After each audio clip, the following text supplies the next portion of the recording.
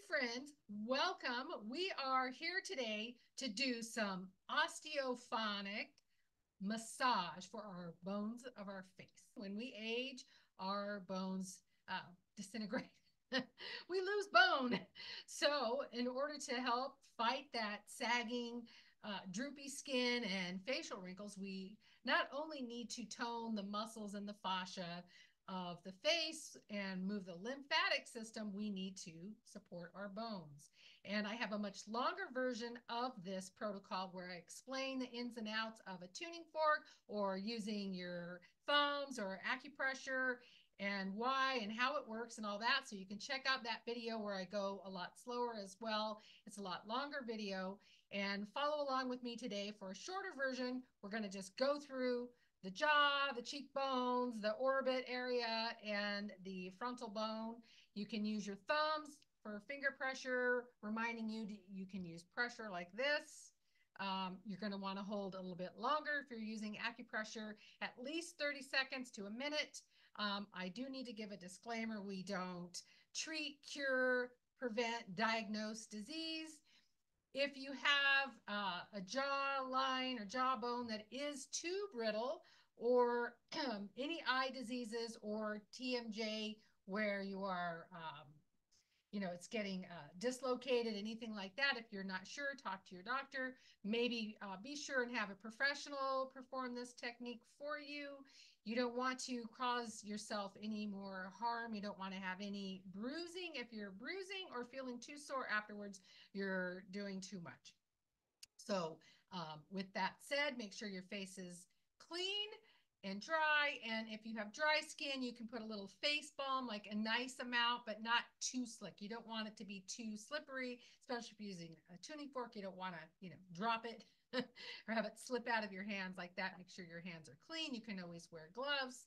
And um, so uh, please be sure to like, share, and subscribe to the channel. You know, like the uh, video so that I know that this is useful for you.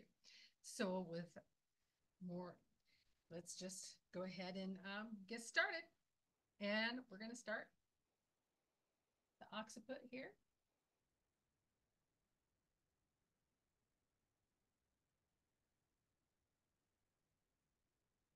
Moving on to the mastoid bone, just below the ear.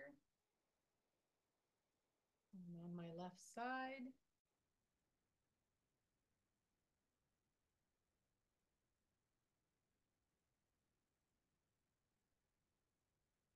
You want to go along the jawbone.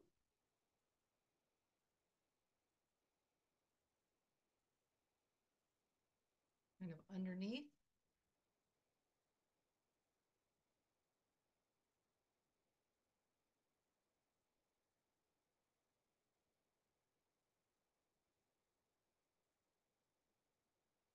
Pressing up under. It also can be tightening your skin as well, but it's this is for the bones here. Kind of find it easier to maybe go ahead and do the other side. Occiput. When the tuning fork dies down, you can move on to the next spot, the mastoid.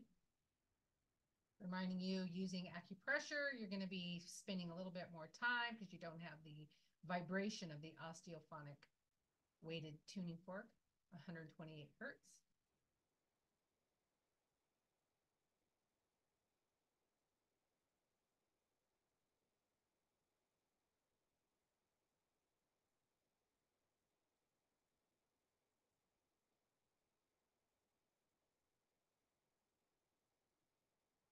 And now I'm just taking it on the top of the jawbone, starting at the ear.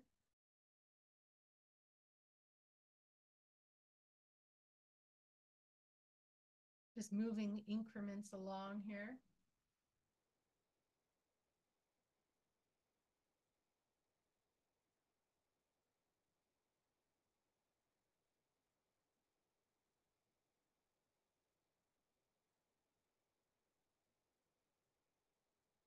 You can use your other hand just to make sure you don't have any wrinkling.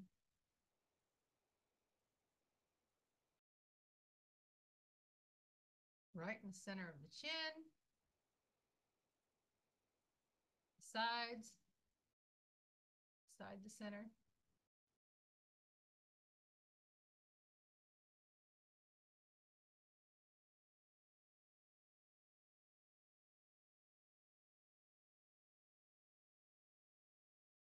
Go ahead and do just below the nose on the upper maxilla here area.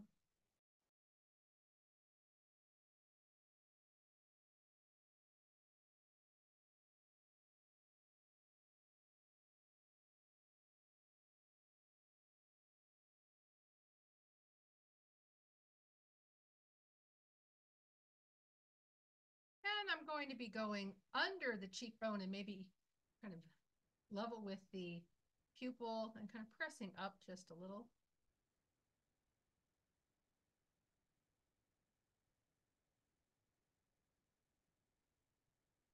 Level with the outer corner of the eye. I'm just moved over a little bit, still underneath that cheekbone. Top next to the nose. I'm putting pretty good pressure, but it's, it might be tender, but it's doable. It's not painful. Again, I'm not causing myself any more harm or pain or bruising. Now I'm going across the zygoma, the uh, cheekbone that goes all the way over to the ear and then below the jaw, and then above it. Might be tender, especially if you grind your teeth or clench. And then I'm going right in that little dip, the temple bone right here, as we lose bone in the temple, as well as the eye sockets. Starting here. You see I can rest my elbow and I'm pressing the inner corner here. It can be tender. This gives you a nice lift as well.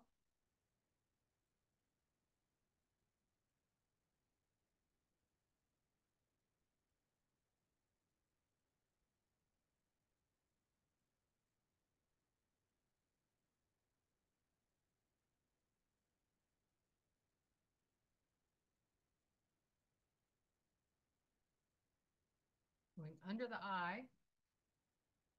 And be gentle on the skin there that's pretty delicate. I'm just on the orbital ridge here, but again, kind of using the other hand to make sure that you don't wrinkle or you don't want to pull down too much on the eye.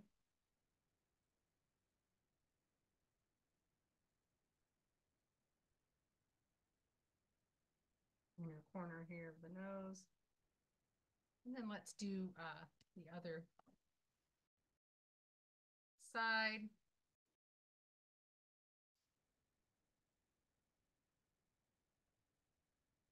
You can see how that eye is actually so much more lifted.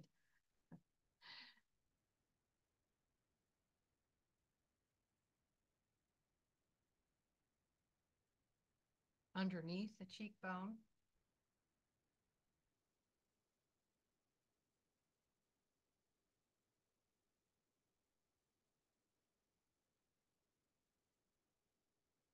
Underneath, a little more outer.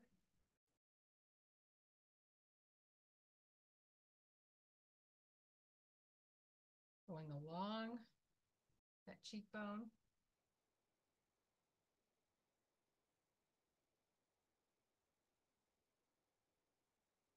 All the way the ear.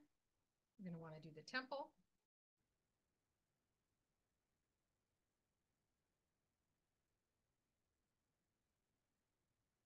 Coming back to the eye, inner corner of the eye.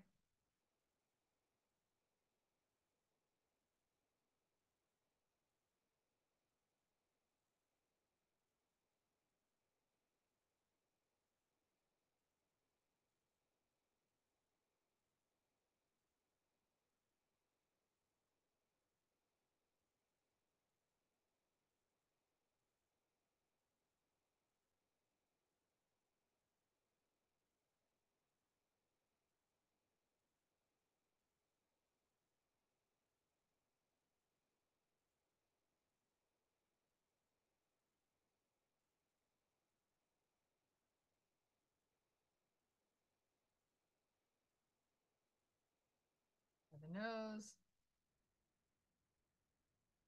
Now just going around below the lower orbital ridge.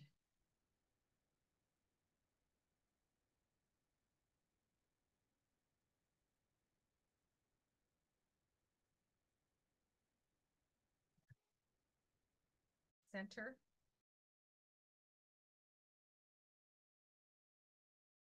Now I'm on the end of the eyebrow, so I'm gonna be going along the top of the eyebrow. See, before we were below it and lifting up, and now I'm just lifting with my other hand, but going across the top.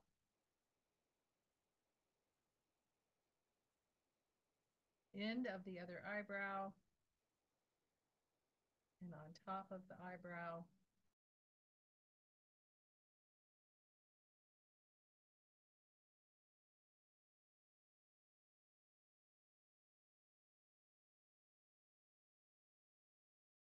Center of my forehead, just above the pupil of my eye.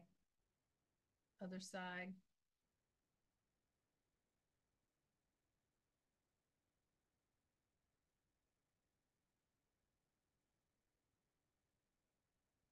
Just kind of going across the forehead this way. Center. Just going around now the uh, periphery here of the scalp.